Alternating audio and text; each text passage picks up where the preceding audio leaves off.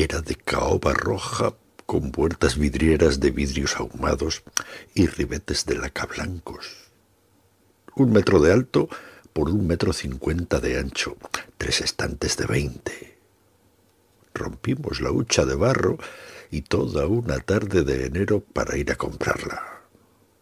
Pronto a casa fueron llegando Albert Camus, William Faulkner, Virginia Woolf, Víctor Catalá, Carson McCullers y James Joyce con su retrato de un artista adolescente que me creó una úlcera a la pluma. Poco a poco dejaba de ser mueble y pasaba a santuario, la librería.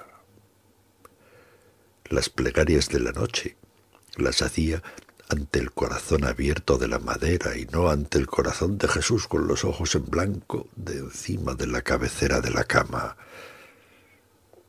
A mi madre, que nunca había abierto un libro, también la llenaba de devoción la librería. Libros en una casa de pobres.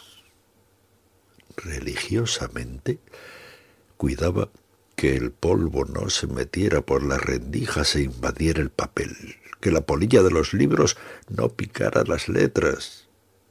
En cambio mi padre andaba envanecido cuando pasaba por delante, satisfecho de haber podido comprar la mar a su hija.